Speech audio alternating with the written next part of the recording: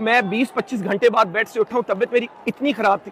आज मैं आया था इंडियन टीम को सपोर्ट करने के लिए क्योंकि इनकी जीत से हमारी जीत जुड़ी हुई है।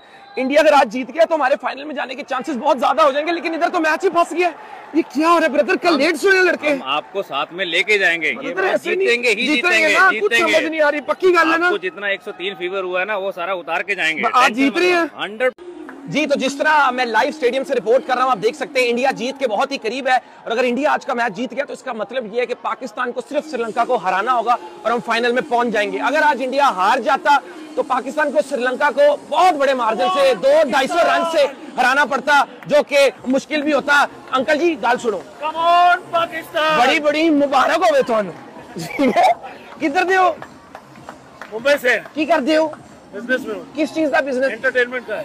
लोगों को एंटरटेनमेंट कराते हैं। Entertainment Sanjana line Sanjana textiles काफ़ी फैला हुआ बिज़नेस है अब तो सारा बहुत पर ही चलता होगा। Is a good man very good समझ गए आप जो मैंने आपको क्रिकेटिंग एक नॉलेज दिया।